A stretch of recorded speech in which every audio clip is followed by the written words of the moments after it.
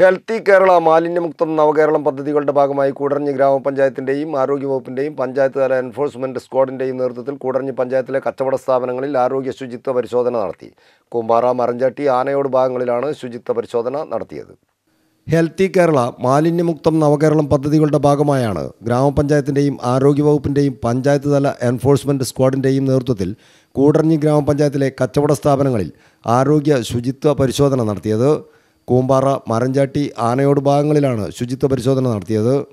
Panchayat licence ഭക്ഷണം കൈകാര്യം ചെയ്യുന്നവർക്കുള്ള health card plastic മാലിന്യങ്ങൾ നീക്കം ചെയ്യുന്നതിനുള്ള ഹരിതകർമ്മസേന കാർഡ് പുകയില നിരോധന ബോർഡ് പരിസര ശുചിത്വം എന്നിവ പരിശോധിച്ച് കച്ചവട സ്ഥാപനങ്ങൾക്ക് മുന്നറിയിപ്പ് നോട്ടീസ് നൽകി.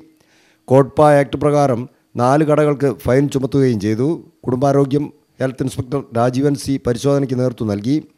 Public health inspector Javid Hussain ജയച്ചൈമാരായ Sandeep Ritesh Varsha എന്നിവർ പരിശോധനയിൽ പങ്കാളികളായി. തുടർന്നുള്ള ദിവസങ്ങളിൽ പരിശോധന തുടരുമെന്നും വൃത്തിഹീനമായ സാഹചര്യത്തിലും ലൈസൻസ് ഇല്ലാതെയും പ്രവർത്തിക്കുന്ന മുഴുവൻ സ്ഥാപനങ്ങൾക്കെതിരെയും കർശന നിയമ നടപടികൾ കൈക്കൊള്ളുമെന്നും പഞ്ചായത്തും ആരോഗ്യവകുപ്പും അറിയിച്ചു. News bureau Koodaranji.